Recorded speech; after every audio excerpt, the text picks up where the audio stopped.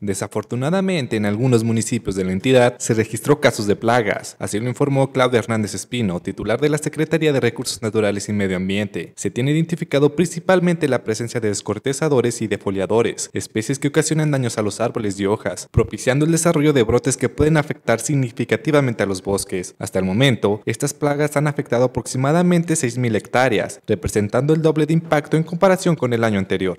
¿Qué hicimos nosotros a lo largo de todo este año? Bueno, repartimos más de 500 trampas con feromonas que fueron distribuidas en los diferentes municipios de la zona sierra de nuestra ciudad, de nuestro estado.